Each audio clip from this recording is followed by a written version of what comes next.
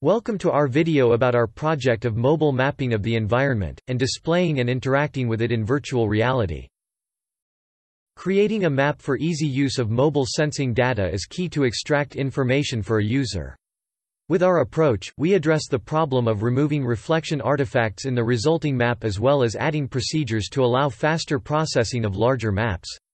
For the mesh generation we are using a truncated signed distance function approach short, TSDF, which we improved by also taking semantic information into account and adding a class-wise cleaning as a last step of the process. We then import the resulting mesh into the Unreal Engine 4, in which we are able to move freely and interact with the map in virtual reality. The point cloud is recorded with our system mounted on a Husky UGV. The sensors used are a Velodyne puck with 16 beams, a Hokuyo Profil laser scanner and a 360-degree fisheye camera.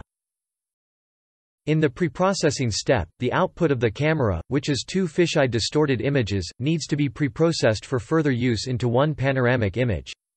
The panoramic image can be used to infer semantics with a CNN. For that, a MobileNet V2 model was trained from the Cityscapes dataset and the Mapillary dataset with 10 custom classes. With that CNN, every pixel in the panoramic image gets one label assigned, for example road, building or vehicle. The panoramic image, its semantic, the point cloud of the Velodyne LiDAR and the laser scan of the Hokuyo are used for cleaning dynamic objects in the point data. Then, this semantified point cloud may be used in the reflection cleaner module to get rid of reflections. The second step is the SLAM algorithm for which we use SUMA. Because we already know the semantics of each point we can filter points of classes which are typically moving like persons and cars. This allows us to navigate more precisely in a highly dynamic environment. In post-processing, scans are fused together with a TSDF on a voxel grid with a predefined voxel size. After all scans are fused small components get deleted by a connected components search and the mesh is generated with marching cubes.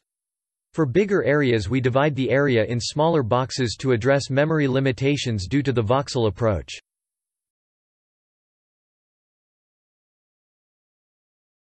Here you can see a result of our approach in virtual reality. The visualization in virtual reality is done with Unreal Engine 4. In here we can import and set up the meshes to have the correct color, lighting and position. We also create bounding boxes for meshes of relevant classes, so the functionalities that we present in the following, can interact with the imported meshes.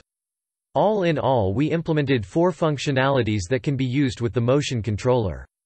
The navigation allows the user to point at a position and direction on the floor to teleport to. The tape measure functionality allows you to place two ends of a tape measure either by shooting at an object or by placing it at the position of your fingertip. It will then show the respective distance. The label palette allows users to select all 10 labels for their respective meshes to be hidden or to be shown. Finally with the map selection it is possible to load a new instance of a virtual environment of meshes with different setups. We adapted our approach to work with a new sensor setup, which consists of a Ouster OS-1 with 64 beams and a front-facing pinhole model camera.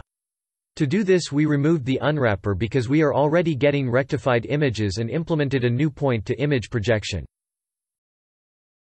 As a result of the setup changes, we have colored points only in front of the vehicle and therefore no color and semantics for parts of buildings which we only see on the side and on the back. To use only valid colors and semantics we only include the color of a point if it was seen by the camera but include the other points for geometry information. In comparison to the robot this setup provides a more smooth surface due to the higher spatial resolution of the sensor and the suspension of the car which lead to a less noisy pose estimation. Also the voxel size can be lowered but by changing this the higher speed of the car has to be considered. For our example we choose a voxel size of 10 cm. Thank you for watching.